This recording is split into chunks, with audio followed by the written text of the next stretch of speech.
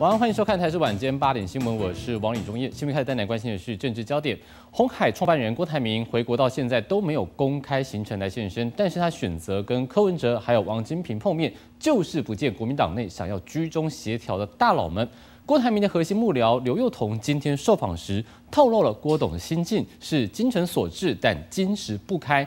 因为之前郭董帮韩国瑜给建议，还帮他找伦敦演的设计师来设计爱情摩天轮，但是韩国瑜却没有回应。刘幼彤还引用了红海高管的比喻，说有一间公司 CEO 做不好，员工反而是拱陪大家泡茶喝酒的服委会主委出来，言下之意似乎是在暗指韩国瑜。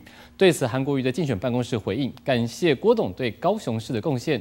当时的确在时间安排上有很多地方难以周全，韩市长也已有向这个郭董事长致歉，并且说明，而且很感谢郭董的帮忙。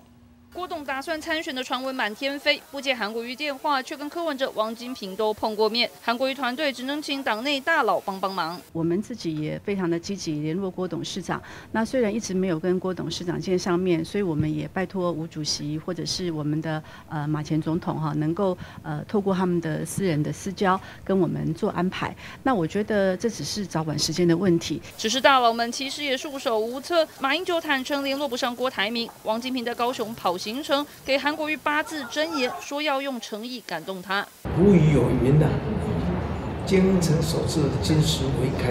所以尽力努力。谈到诚意，郭台铭核心幕僚有话要说。他说初选前郭董做了许多事，像是帮忙采购农产品，还帮他联络伦敦眼设计师设计爱情摩天轮，但韩国瑜却没回应。其实过去三个月啊，金石所至，金石没有开，这个大概是郭董事长对韩市长的状态。刘幼彤还加码引述红海高管的描述，暗讽韩国瑜像是一间公司的副委会主委，被拱出来取代 CEO。一个公司做的不太好。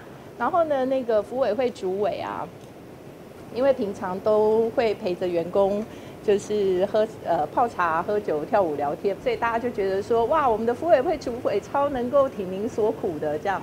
哦，然后结果那个公司因为做的不太好，大家说我们要换 CEO。结果呢，大家就说我们要推我们的服委会主委做 CEO 这样。针对郭正引用服委会主委形容，韩国瑜选办也立刻发声明回应，曾经就时间安排问题向郭董致歉，也强调期待和郭董见面，更期待能够有机会和郭董一起畅谈改变台湾的蓝图。只是郭董如果铁了心不读不回，恐怕蓝营的团结永远只是空包弹。